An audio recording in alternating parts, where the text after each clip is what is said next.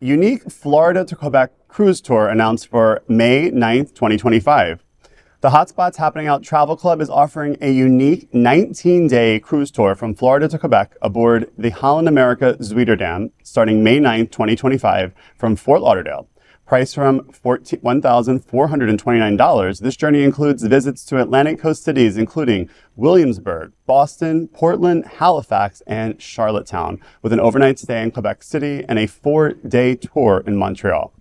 Free transfers to Fort Lauderdale are provided from over 20 Florida cities and private home pickup for residents of Miami Dade and Broward County. An optional five day post tour to Toronto and Niagara Falls is available for $459. The trip supports the Travel Club's nonprofit educational mission.